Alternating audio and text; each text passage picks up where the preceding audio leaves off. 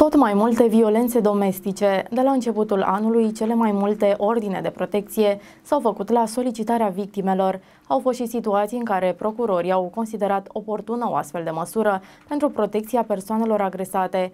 Cele mai multe solicitări au fost făcute de victime care locuiesc în mediul urban.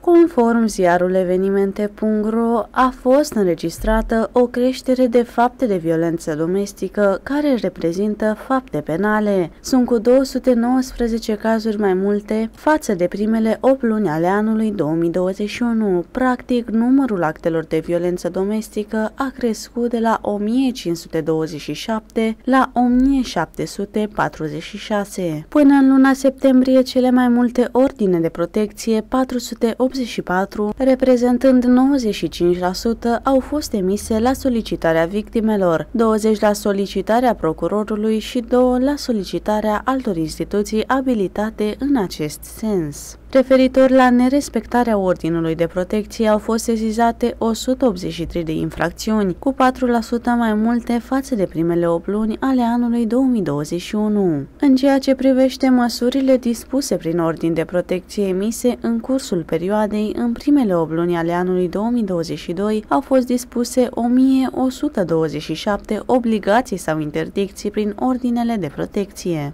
Din punct de vedere al locului comiterii faptei, 250 de ordine de protecție provizorii care reprezintă 54% au fost emise pentru fapte comise în mediul urban și 210 în mediul rural. Referitor la nerespectarea ordinului de protecție provizoriu, au fost sesizate 41 de infracțiuni. În ceea ce privește măsurile de protecție dispuse prin ordinele de protecție provizorii în perioada analizată, numărul acestora este de 767 din acestea, 304 sunt pentru evacuarea temporară a agresorului din locuința comună, indiferent dacă acesta este titularul dreptului de proprietate, 72 pentru reintegrarea victimei și, după caz, a copiilor în locuința comună, 387 pentru obligarea agresorului la păstrarea unei distanțe minime determinate față de victimă, față de membrii familiei acesteia, astfel cum sunt definiți și 4 pentru obligarea agresorului de a preda poliției armele deținute relatează ziarul evenimente.ro.